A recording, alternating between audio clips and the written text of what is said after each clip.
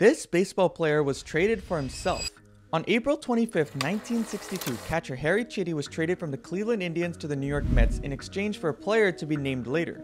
On June 15th, the Mets said that that player was Harry Chiti. He then got sent back to the Cleveland Indians minor league team. But there are three other players that have had this happen to them. John McDonald was traded from the Tigers to the Angels for a player to be named later. That player turned out to be himself. Dickie Noles was traded from the Cubs to the Tigers for himself, and Brad Gulden was traded from the Yankees to the Mariners for $100,000 and a player to be named later, which was himself.